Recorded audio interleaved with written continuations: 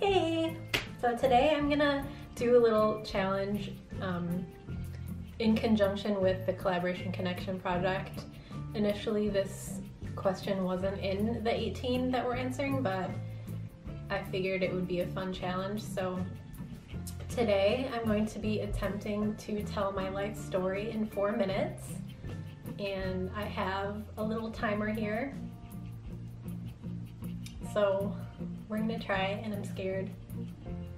Either I'm gonna go way over four minutes or my life is boring and I'm gonna be done talking in a minute and a half. We'll see. Okay. We're only gonna do this once. So, we ready? One, two, three, go. So I was born in 1987 in Michigan in a Detroit suburb. My parents lived with my dad's parents for a couple months when I was a baby when they were building our first house. Um, so I grew up with my older sister and I had a good childhood. We hung out with our cousins a lot, it was great.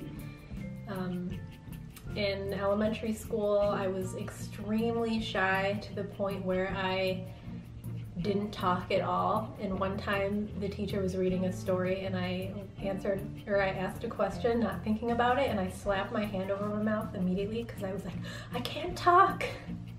So I used to be very shy and then I started coming out of my shell maybe second or third grade, but I was still pretty dorky and definitely had some issues with mean girls over the years, so that's a struggle that I had until maybe high school. And if you watch my previous videos, you got a little glimpse at how dorky I used to be. So I had a rough time, but I feel like it helped me develop into the person I am today, so I probably wouldn't change anything.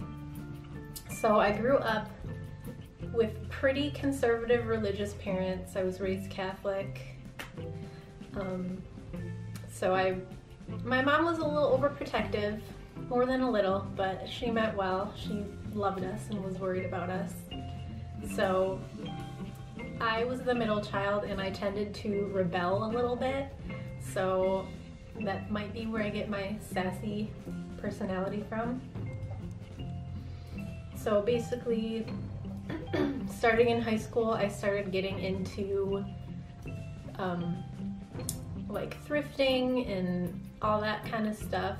And I was one of those kids that went to like the local shows and wanted to be all punk and scene and cool, but I wasn't. But you know what? It was early 2000s and that's what everyone was doing. So, um, so I went to art school in Detroit it's called the College for Creative Studies, and I started in fine arts, but quickly realized that I do not have the brain for um, like conceptual fine artsy stuff, so I switched majors to illustration. I met some of my best friends in school. I started my first relationship right after graduating, and I was with my ex for eight years, and that's a whole other story. Um, I only have a minute left. So I graduated, I started working at like a scrapbooking company in Michigan and it was fine. And then in 2012, I moved to Chicago to work for Paper Source and I worked there for um, six years and I recently in 2018 went out on my own to do freelance I started a company called Five Eye Studio last summer and it's going pretty good. I sell things, check it out. I, I left so much out. I have two cats, Walter and Zoe, I love them so much.